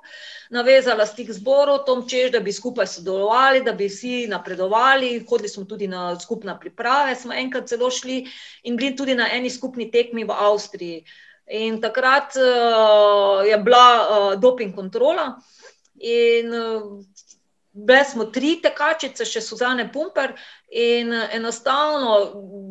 Malo sumljivo je bilo že takrat, da so na štartu štart predstavili, kar smo kasneje izvedeli, da so štart za pol ure predstavili, ko smo že bili vsi na štartu, tekli smo 21 km v Pratru na Dunaju. Uh, ker je pač tisti, ki je prišel doping kontrolo nenapovedano delati, je zamujal in ker so oni vedeli, da ne bo pravi čas prišel, so štart predstavili. In kaj se je zgodilo potem? Vzeli so nam vzorce in uh, normalno, dosti krat sem že bila na doping kontroli, ogromno krat vse je bilo ok, tam je pa nekaj, vse, nekaj čudno vse potekalo, uh, eni so bili ful nervozni, ne vem zakaj. In potem, preden sem jaz dobila rezultate, da je moj rezultat pozitiven, je že uh, od one eh, Marije, Gra, Eve Marije Gradvolj, trener klical in je rekel, da so kao vsi trije vzorci pozitivni. Pa je Borod rekel, pa ne more biti, pri Heleni sigurno ni pozitiven je rekel, da ja, vsi trije so pozitivni. In seveda, potem šele naslednji dan dobim klic iz um, dr. Sredka, ki je klical iz naše antidoping komisije, da je res rezultat pozitiven. In potem sem rekel, da to je nemogoče. In so tudi, ko sem šla na B vzorec, uh, je šel zraven, ker sem rekel, nimamo kaj skrivati, ne gre zraven. Je tudi predsednik antidoping komisije šel zraven, da je bil prisoten pri odpiranju B vzorca. In tudi uh, smo rekli, da je to nemogoče. In ko so prišli rezultati, to je trajalo tri dni. Uh, rezultat na EPO je takrat, uh, cela procedura je trajala tri dni, da je prišlo do rezultata. In ko smo tam gledali, je bilo vse čudno. Neki, uh, in so rekli, to, to ni pozitivno. In je on tudi bil, uh, kaj že pred. Uh, Direktor laboratorija, celi neki rdeči, prestrašen, in potem enostavno so rekli, da ja, je vseeno, ker je moglo biti drugo mnenje, je klical v, nekam v Španijo in kao, da je to pozitivno.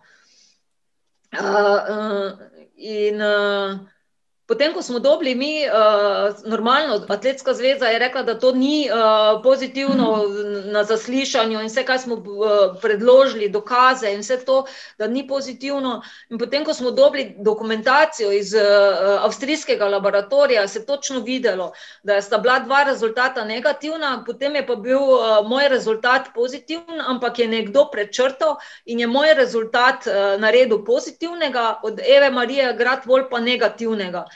In uh, normalno, uh, Mednarodna atletska zveza se ni strinjala s tem, da je mene Atletska zveza Slovenije oprostila. Uh, šli smo na CAS. Na CAS-u je to ogromno, od zraven direktorjev laboratorijev iz Rima, iz Pariza. Mislim, da so Vada je bila po tej videokonferenci prisotna. To je trajalo zaslišanje cel dan, od 8 zvečer do 6, od 8 zjutraj do 6 zvečer, pa še ni bilo končano. Ne? In enostavno nismo bili pripričani, da smo dokazali, da, da je v bistvu ni bilo to pozitivno, v bistvu napako sem naredila, ker smo mi hoteli dokazati, da jaz nisem bila pozitivna. Če bi jaz šla v proceduralne napake, bi sigurno postopek dobila, ampak ker sem vedela, da nisem pozitivna, smo mi hoteli dokazati, da uh, enostavno nisem, da, uh, nisem bila pozitivna. In uh, oni se potem tri mesece ni prišlo do uh, odločbe, po treh mesecih so dali odločbo in so rekli, da sem vseeno jaz kriva, da sem suspendirana za dve leti. Več kot eno leto je že minilo od takrat, ne, ker se je postopek eno leto vlekel, uh, točno eno leto, ampak kaj je pa bilo čudno, je pa bilo to, da meni niso naložili dobenih stroškov. Smo, eh, naša ekipa je bila cela, uh, imeli smo dr. Čurinovo, pa uh, predsednik antidoping komisije, pa uh, dvojni odvetniki, pa Borod, pa jaz in vsi ti ostali strokovnjaki na drugi strani, ki so bili, ne vem, kdo je kriv stroške, ker meni niso naložili dobenih stroškov, rekli so, da je bil zelo pomemben case in da enostavno, da uh, jaz nimam s tem dobenih stroškov. Čeprav me prej Mednarodna atletska zveza, ki pač vsako pisanje, ki je bilo, nekaj smo si pač dopisovali preko atletske zveze, so oni vedno opozarjali, stranka, ki izgubi, krije vse stroške, stranka, ki izgubi. Na koncu sem jaz izgubila, ampak stroškov pa nisem poravnala. Tako da je tukaj bilo malo čudno, da so nekaj kompenzirali, po drugi strani je pa za razumeti da če bi oni mene takrat uh, dejansko oprostili, bi prišlo do domine efektov in bi se še vsi ostali, ki so takrat uh, imeli podobne primere in so izgubili, bi še ponovno odpirali te probleme in bi nastalo ne vem kaj. Glavne malo so pač skompenzirali, eno leto je že minilo, eno leto še nisem nastopala in na koncu je to bilo to. Ki me je pač nekaj naučila, da se jaz enostavno, ker ona, eh, Eva Marija Gradvol, njen trener je bil uh, Helmut uh, Majer, ne, tisti, ki poznajo biatlon in uh, nordijsko smučanje, vejo, kdo je to. In enostavno mm, preveč se zaupati nekim nepoznanim ali pa na videzno poznanim ljudem se ni. Ne. In enostavno tukaj sem jih malo preblizu k sebi spustila, da so potem to izkoristili, tisto svojo napako, ker enostavno mislim, da je pa imel uh, takrat uh, Majer pač neke veze v laboratoriju v, na Dunaju. Ne. Taka šola nekaj stane, nekaj smo se naučili, slaba izkušnja, mislim, ni prijetna izkušnja od tega, ampak uh, stvari, ki jih nikoli ne pozabiš. In to je to. No, kljub temu, no, se pravi, da ti, ti četrte olimpijske niso bile usvojene leta 2008 in si rekla, da pač tvoja vrhunska atletska karijera zaključena. Pa sem vse en bral, uh, potem spomladi 2012, se spomnim, da Helena Javornik pa gre vse en po normo za maraton za olimpijske v Londonu. In se spomnim, potem smo spremljali tisti maraton v Utrehtu, ki je bil svoj vrstno, kar ne zbirna tekma za slovensko reprezentanco, tam je laufala Žana Jereb, pa Neža Mravle, pa ti si bila. Ne? In v bistvu so se prav tam ste se na en način pomerili potem za tisto uh, mesto v reprezentanci, za tisto B-normo, ki je vodila eno atletinjo v London. Uh, kako je to izgledalo tam uh, takrat uh, v Utrehtu? Ja, to, je bila, to je pa bila zopet zgodba. Mislim, da je to bilo leta 2012. Ja, za leta 2012 so bile olimpijske, 2011. Jaz sem takrat hodila že v službo, ne, ker sem potem, ko sem zaključila kariero, leta 2010, uh, 2011 sem šla v službo, sem delala na sodišču in sem rekla, da bom pa probala še malo teči, čeprav uh, uh, uh, ni bilo realno, ne, ker pač zakaj rečeš, da bo šel? Zato, ker so bile smešne, te B-norma je bila, ne vem, 42 ali koliko je bila B-norma. Še, še več, Jaz sem leta 96 ja. mogla norma teči 2 uri 35, 2 uri 35, da sem lahko na olimpijado prišla in se spomnim, da sem takrat tekla na Dunaju v nekih izjemnih razmerah, snežilo je pa tako 234, 50, da sem za lasi spomnila normo. Potem je pa bilo, ne vem, uh, toliko let kasneje, pa norma 42, ne? ampak ena bi lahko šla s to normo, ker je to bila B-norma, ne? ena bi lahko šla in mislim, da je takrat od nas najboljša bila Žana. Vem, da je Kežar vleko tudi, ne? zajček Kežar, je že mene prej toliko tekel, ker je on tudi treniral. Uh, in jaz sem pa takrat odtekla, mislim, da 2,46 ali koliko potem. Če zdaj študiram, glede na to, da sem pač že bila toliko stara, pa da sem vmes, že, mislim, nisem bila več stoprocentno uh, sfokusirana samo na atletiko, da sem to še ob službi hotela, je bilo mogoče tako malo nerealno pričakovati, da bi pa šla neko normo. Čeprav s takim rezultatom 2,40, potem nimaš tam kaj iskati. No, to, to je res, no, ampak vseeno, kot si rekla, ne, za marsikoga je pač uh, olimpijski nastop vrhunec karijere, ne glede na to, kako je tja prišel. Se zdaj, zdaj ni več tako lahko, te norme so zdaj zaostrene, uh, res bistveno, bistveno bolj. No, ampak če so že pri tem, uh, kaj si počenjala potem uh, tista leta, ne, ko si bila, bi kdo rekel, že v, vet, v krepkih veteranskih letih. Uh, se spomnim ene zgodbe, recimo iz, iz Berlina 2014, mislim, da je bil takrat sta gor, uh, tako Roman Kejžar kot ti. Z Romanom smo še srečali, se, mislim, da je bil uh, z 2,27, ne sem, da je bil, sigurno je bil daleč najhitrejši slovenc, ti si bila z časom po tri ure najhitrejša slovenka in sem rekel, no, uh, pri skoraj 50-ih sta najboljša slovenska maratonca, veterana iz, iz uh, nekih drugih časov, pa sicer državna rekorderja, ampak vseeno je rekel, kako bi pa to izgledalo, če bi šla oba dva ne, na državno prvenstvo z Dele, pa pobrala naslove, to pa bi bilo hecno. In pol dve leti kasneje smo po uradencih in tam po mikrofonu razglasijo, danes pa svoj 50. maraton teče uh, Abrahamovka Helena Javornik. Uh, z štartno številko 50, in to si res odtekla, pa ne samo odtekla. Ne? Uh, v cilj si prišla, mislim, da tretja, absolutno, kot tudi državna prvakinja pri 50 letih. Ja, te radence, to je pa bilo res. Ja. Slučajno se je tako gibalo, da pač jaz lahko eno leto prej gledala, da bom pač eh, v tistem letu, ko sem bila stara 50 let, tekla tudi 50 maraton. Uh, jaz sem imela zrihtano tudi štartno številko za London, da bi šla v Londonu, še nisem tekla, da bi tekla 50 ma maraton v, za, v Londonu. Uh, Potem pa sem malo študirala, pa sem rekla, gledaj, šla bom v London, tekla bom tam, dobed ne bo vedel, da sem tekla, pa to meni rezultat nič več ne pomeni. Uh, zakaj ne bi šla tukaj s svojimi maratoni, sem začela v bistvu v Radencih, uh, zakaj ne bi šla v Radence na domači teren, domači, mislim, navijače bom imela, ljudi bom imela.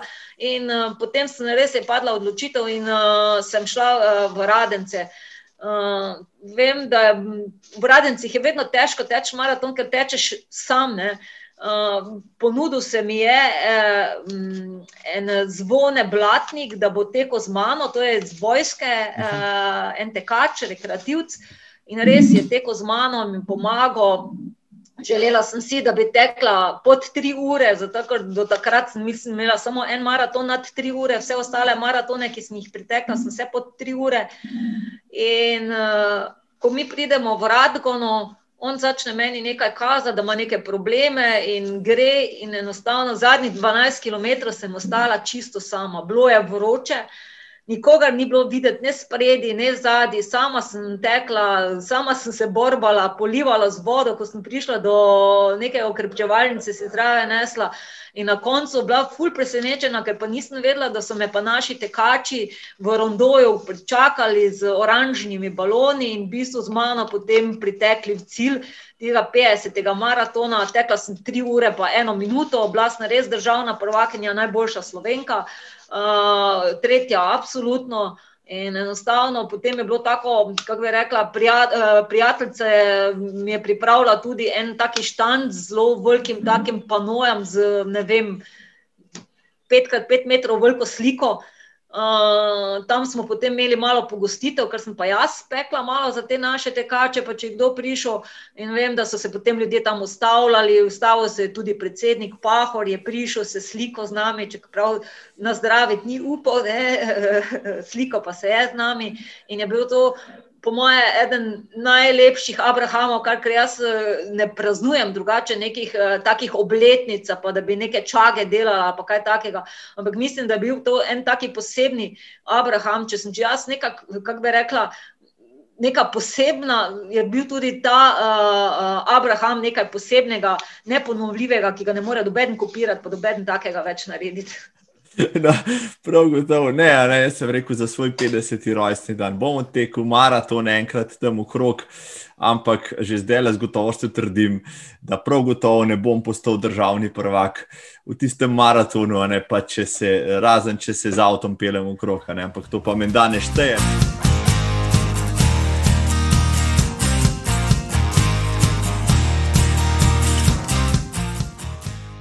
Ampak vrnemo se k tebi, pa k tvojim nevrjetnim dosežkom na maratonih. Imáš 17 zmag na velikih maratonih, med, med temi sem gledal tam, to so že omenjeni Amsterdam, pa Dunaj, Turino, Benetke, uh, trikrat Ljubljana, šestkrat Radenci. Uh, to je najljubši maraton, ali pa najljubša zmaga, mogoče, no, ti imaš že toliko zmag, da že o tem lahko govorijo. Uh, rekla, zmagovala sem tako na cestnih tekih, kot eh, maratone, tudi cestnih tek, pa krajši tek, pa na stezi.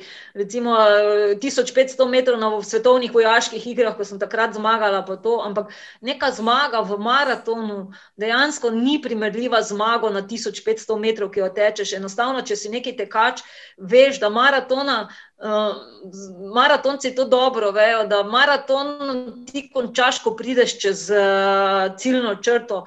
Lahko se ti zgodi, da si 200 metrov, 100 metrov pred maratonom, mislim, pred ciljem, pa ne moreš preko priti, ker te začnejo grabiti uh, krči, ne vem kaj vse. In enostavno tako dolgo traja ta, uh, ta uh, tekma, da enostavno so občutki, uh, ko prideš v cilj uh, po, ma, ma, po maratonu ali pa na 1500 metrov nekaj zelo, zelo pomembni. Ne. Dobro, zmagal sem 1500 metrov, tekel sem tisti štiri, dobre štiri minute in to je to. Tukaj se ti pa lahko toliko stvari vmes zgodi, uh, takih in drugačnih. In zdaj izpostaviti neki maraton, recimo uh, na Dunaju, ko sem zmagala leta 95, to je bil en tudi, kako bi rekla, presenečenje. Zakaj je bil presenečenje? Ko sem jaz prišla tja, uh, jaz sploh nisem bila med favoritkami, ne. imela sem sicer številko štiri ker štiri je bila moja dobra številka. Uh, imela sem številko štiri, ampak bilo je vroče, bilo je 25 stopinj, uh, takrat, mislim, malo kasneje je bil štart. 25 stopinj in vse tiste favoritke so se bale za štart. Jaz sem šla svojo tekmo, jaz se sploh nisem ozirala, tako kot mnogo krat nisem se ozirala na dobene druge. Ne. Boro te kar gledal, šla sem hrabro in enostavno potem, ko vidiš, da. Uh, te ostale, mislim, da imaš toliko prednosti, da uh, uh, ostale se sicer lovijo, en, enostavno dobiš tista krila in greš. Ne. Spomnim se tistega maratona, prišla sem cilj od tiste vročine, popolnoma dehidrirana, imela sem take žule, sem dobila, da mi je kri iz copat ven tekla, da potem po maratonu sem šla v zdravniku, da so mi eh, olupli obe stopali doli, da so se mi potem še par let, eh, kako bi rekla, tista koža bila tako mehka, take žule sem dobila, ampak takrat v tistem efektu, ko ti veš, eh, da si da lahko zmagaš, da boš zmagal neki Dunajski maraton, to, kar greš, to ne čutiš, dobene krvi ne vidiš, ničesar, dokler se ne ustaviš. Ne? In to je bil eden zelo, čist na začetku, zelo lepi maraton, presenetljivo. Na Dunaju sem dosti krat tudi za en klub nastopala njihov in bila to ena taka zelo, zelo, kako bi rekla, do, lepa zmaga, ki mi je ostala v spominu. Potem je še bil tudi na začetku en maraton na mediteranskih igrah, ko sem zmagala v Narbonu leta 1993. Dobed ni pričakoval, da bom jaz tam zmagala in uh, enostavno zmagala sem maraton in potem te, maraton se je tekel do povdan, zjutraj je bil štart, razglasitev je bila popovdan, takrat je nastopil tudi, mislim, da je bil finale na uh, Morseli je tekel. In eh, takrat je bil poln stadion, 30 tisoč ljudi je bilo na stadionu, meni so pa himno igrali. Ne. To so stvari, ki, uh, ki so nepozabne. Potem je še bil en maraton v Benetkah, ki ga sicer absolutno nisem zmagala. Bila sem tretja, absolutno, ampak sem zmagala med uh, vojakinjami in sem bila prva uh, svetovna vojaška prvakinja. In takrat je bila razglasitev za vojsko in so na Markovem trgu igrali slovensko himno. In uh, turisti, ki so hodili, dosti slovencev je bilo, kuj gledali so, kako te zdaj to uh, tukaj neko slovensko himno igrajo. Ne? Mislim, to so bili taki nepozabni trenutki, ki jih pa nikoli, čeprav so tudi bile kakšne stvari, ki niso bile tako lepe, ampak to prevlada potem in to ti vedno ostane. Ne? Še zdaj, ko to gledam, se mi kar na ježi koža. Ne? Materijala, ne samo za eno knjigo, ampak ne več za njih pet, pa za ne dva celovečerna filma, ne pa šest dokumentarcev, res, res nore zgodbe. No, se bova, uh, zdaj ima že, mislim, da uro, pa, pa četrt že govoriva, tako je šlo, uh, pa da te ne bom predolgo zadržal. Imam še nekaj vprašanj, sigurno bova tole še ponovila, no, ker se pravim, že potem, ko mi razlagaš vse te nore zgodbe, uh, pa ker sem bil na teh eh, marsikajšni lokaciji, ker ker uh, si ti tudi tekla. Zdaj sem se spomnil, mes, ki si govorila, da sem dvakrat uspel celo uh, teči ob, tebi ali pa te srečati v Ljubljani. Še tista prva leta, ko si ti zmagovala, se spomnim, smo tekli dva kroga, hitri ste, sli, ste šli že mimo živalskega vrta, v drugi krog, mi bolj počasni rekreativci smo šli šele v prvi krog v cilj, pa smo vas gledali, kako brzite tam mimo po levi. No, pa ali pa ena zgodba, to, to zgodbo sem takrat povedal, že ko, ko, ko sta me z Borutom povabila v vajno tekaško skupino, enkrat na priprave. Uh, en večer sem to zgodbo povedal, leta 99 sem bil v zelo dobri formi in sem tekel polovičko v, v Radencih in tam le tista proga bila še stara uh, čez, uh, čez Avstrijo, pa polje zavila nazaj čez Tišino, maratonske bila še naprej čez Mursko soboto in jaz preletim tam čez mejo, čez Radgono, nek desetih km pred sabo vidim uh, tekačico v, v državnem drevesu, sem rekel, noro, dohtel sem Heleno Javornik, zdaj bom pa jaz držal Heleno Javornik, koliko cajt bo šlo. No, do 14. je šlo, potem smo pa mi odvil, Helena je pa odbrzela naprej, pa sem kljub temu, ne, da sem 4 km na polovički teku z uh, kasnejšo uh, zmagovalko maratona, se tako dobro počutil, da sem potem na polovički postavil svoj osebni rekord in se mi tako dobro zdelo, da, da sem se malo navzel tistega. Tistega tvojega zmagovalnega tempa, kako koli že.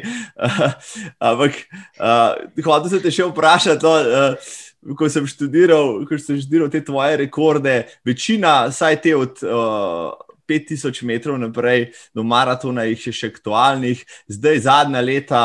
Eh, prihajajo te kačice, ki ti jemljajo na krajših razdaljah pač, pač te, te, te naslove, oziroma uh, državne rekorde, recimo Maruša Mišmaš, ki da ravno lani vzela tistega na, na 3000, pa mislim, da Klara Lukan je za ena od tistih, ki je tudi kandidatka, da še kakšnega morda vzame.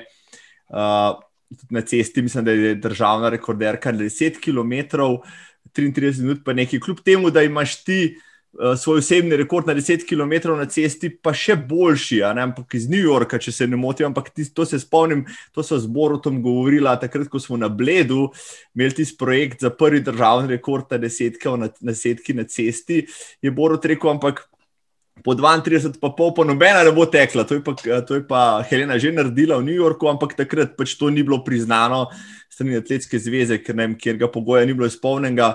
Uh, tudi tam bi imela lahko rekord, no, če, bi, če, če smo že ravno pri tem. Uh, rekordi so taki, ja, da recimo na 5 km se mi zdi, da je najslabši rekord, da ta bi lahko zelo malo padel. Kilometre v dvorani je zdaj bila Maruša čisto blizu, ne sekundo pa pol je mogoče zaostala.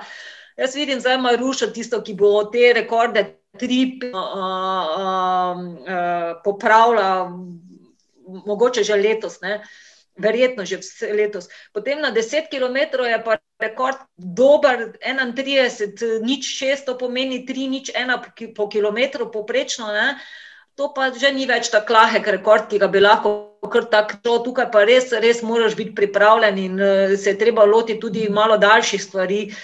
Uh, mislim, da bodo ti rekordi uh, deset na stepu pol maratona, da bo ta kar, po, moje, po mojem, da sta to najmočnejša rekorda, da bo ta še kar verjetno nekaj časa, čeprav se ne ve, lahko ga hitro popravi. Maraton je tak, tak, ni nekaj posebnega, ne 227. 33 za naše razmere. Takrat je bil to dober rezultat, to je zdaj 16-17 let od tega. Uh, takrat je bil dober rezultat, danes pa vemo, koliko tečejo. Ne? Da to 227 danes ni ne merilo, nič kaj posebnega. Uh, ja, jaz upam, da vse stvari se spremenjajo, in metodologija treningov, in vse ostale stvari, kako bi rekla, na bolje. Vse, uh, je pa tukaj, vsaj pri teh daljših stvareh, je pa pomembna še glava. Uh, pa ti ne more dobena, uh, kako bi rekla, nobena stvar, kar tako podari, če nimaš ti glave. Zato, ker to se pa že v glavi malo dogaja. Ne? Traja pol ure, moderira, ni dovolj samo priprava, moraš biti psihološko dovolj močen. Uh, um, tako da. Uh, Jaz upam, da se bodo punce spravili tekle, se to je normalno, da ne more neka stvar, ki jo postaviti, biti večna, da e, pridejo punce in jaz bi bila zelo vesela, ker tudi one bi imele to motivacijo, da to popravijo in da bojo še boljše bile in enostavno jim želim, da to popravijo, ne? ker jaz vem, da so neki mejniki, ki si jih postaviš, jaz nekaj dosegla. Um, čas potem zabriše.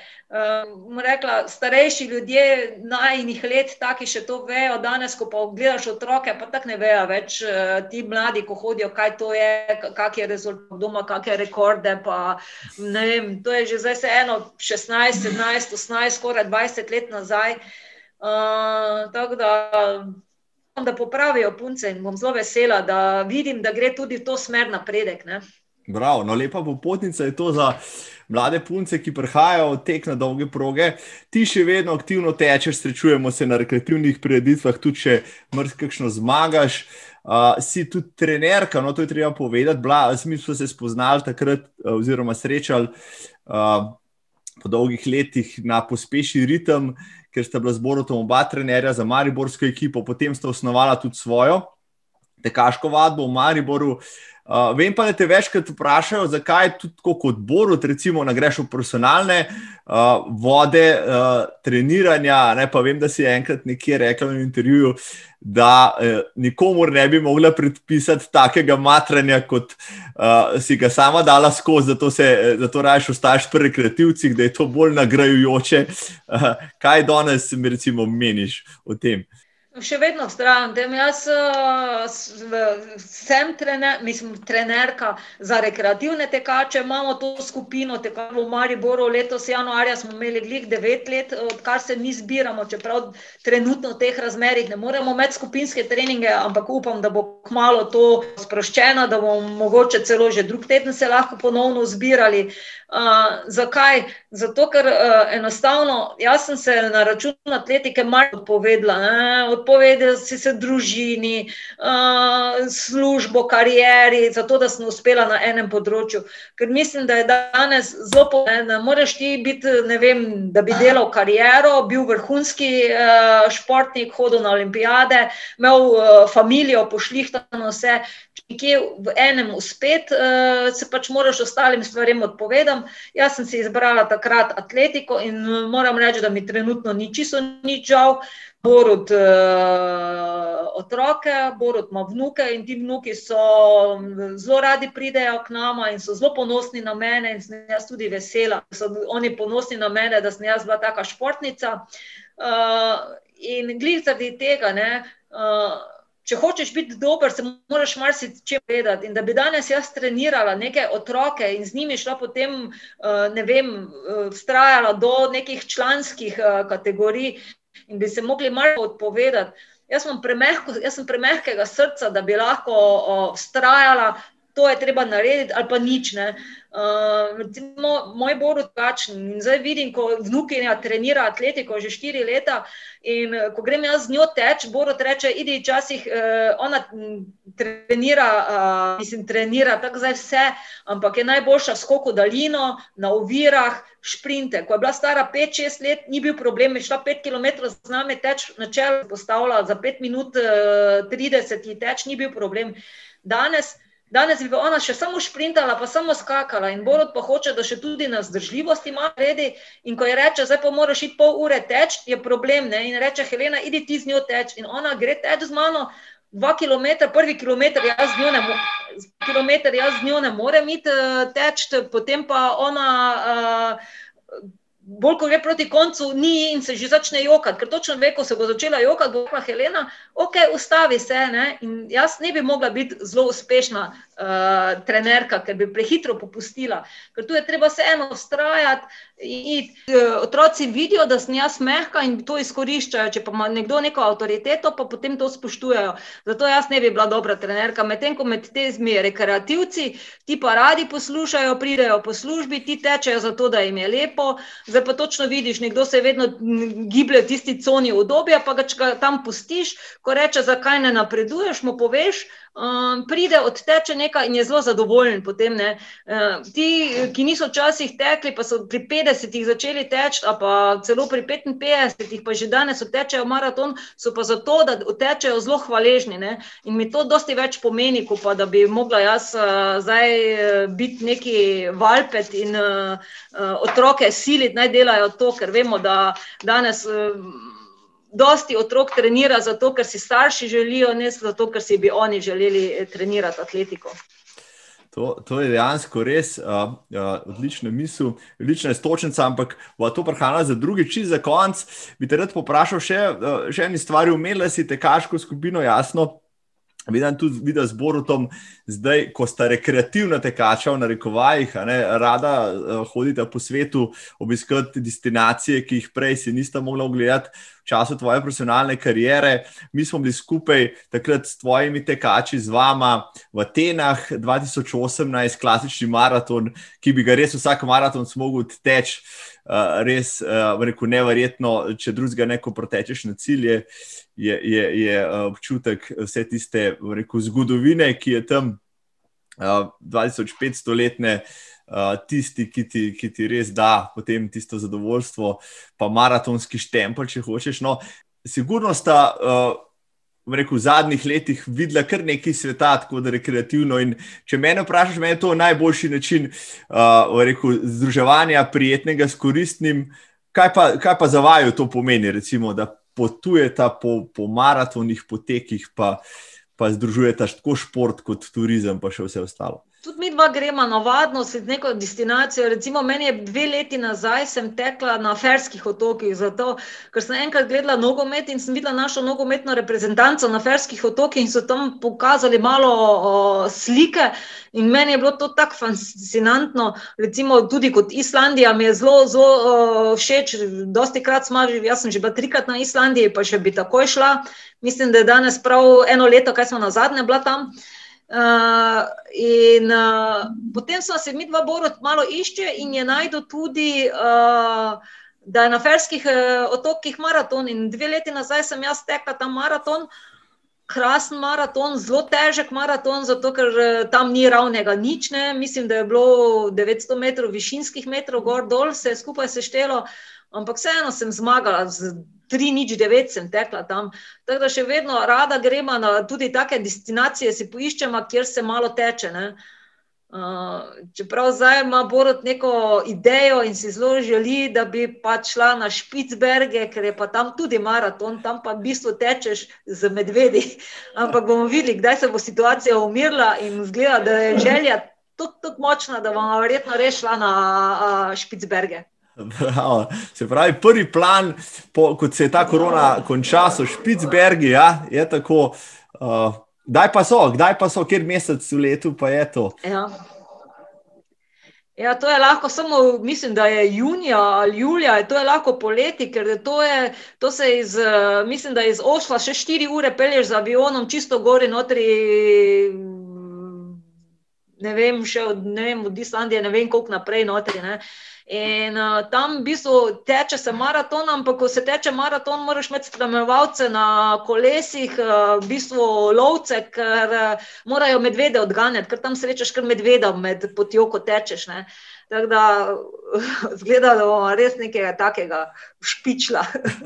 no, pa, pa, pa naslednja destinacija je Afrika, tisti Big Five maraton, ker srečaš pa leve, pa, pa, pa tigre, pa slone, pa tako naprej. Pa, vem, Antarktika je tudi zanimiva, za vaju, ki sta tako eksotična popotnika. Uh, sicer se mi zdi, da vsi zdaj le čakamo, da bo čas konec, uh, da si bomo začeli spet delati uh, rekel, za znamke, kam bomo potovali, ne glede na to, kaj bo treba za to narediti.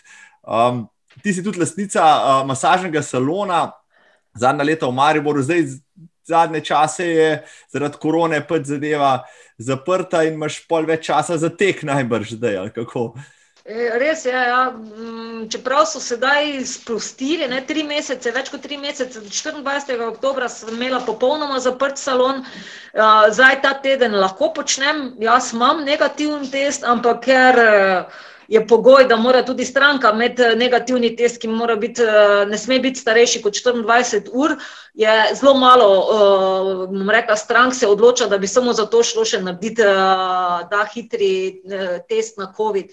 Tako da zdaj v tem obdobju sem pač malo več tekla, ker sem imela malo več časa. Tako da januarja sem pretekla enih 350 km, ampak to jaz grem teči zato, da uživam, ne obremenjujem se več z uro, ne obremenjujem se več s časi. Uh, ko sem vem, dobro razpoložena, tečem malo hitreje, ko mi ne gre, gre malo počasneje. Enostavno to jemljem kot uh, način življenja, ker sploh si ne znam predstavljati, kaj bi bilo, uh, da ne bi mogla iti uh, teči, da bi bila zaprta notri nekje. Ne vem, enostavno. Očitno sem tip, ki se nikoli ne naveličam. Tečem že 32 let, pa se tega nisem naveličala, medtem ko pri ljudeh, pri teh rekreativcih, pa opažam, da se zelo hitro nasitijo neke stvari, se zaženejo, leto, dva tečejo, potem jih pa kar naenkrat mine, pa grejo pa nekaj drugega, probajo. Pa ne vem. Uh, vidim, ne vem, mogoče nas uh, vse uh, način življenja uh, sili v to. Ne, vem, ne razumem, zakaj, ampak jaz. Uh, 30 let tečem, pa se še nisem naveličala, nekdo pa pride, pa se bo po parih mesecih naveličal, ker je tek monoton, ker se nič ne dogaja.